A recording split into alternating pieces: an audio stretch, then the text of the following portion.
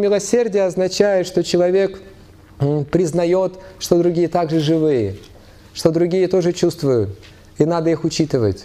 Надо хотеть им добра, надо хотеть им не боли, а чтобы им тоже было хорошо. Они ведь тоже живые. Идеальный вариант – это когда человек, знаете, говорит, все родственники. Ну не в смысле по Дарвину, да?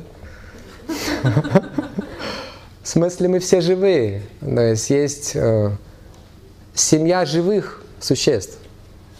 Вот. Когда говорят «вселенская любовь» там, или люди стоят возле метро, говорят «я всех вас люблю», обниматься лезет, да? Но это как бы имитация. Он, может, всех любит, но в некоторых жареном виде. Вот. Но идеальный вариант – это человек действительно ощущает всех и благожелатель всем живым существам. Это идеал.